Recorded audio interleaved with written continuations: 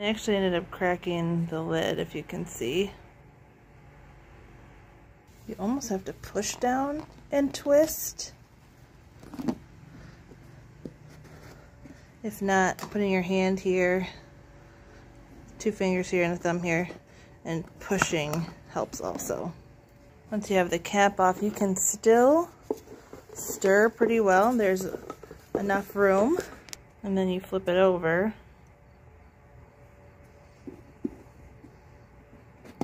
It's threaded and you can twist it on and pour out of this lip here.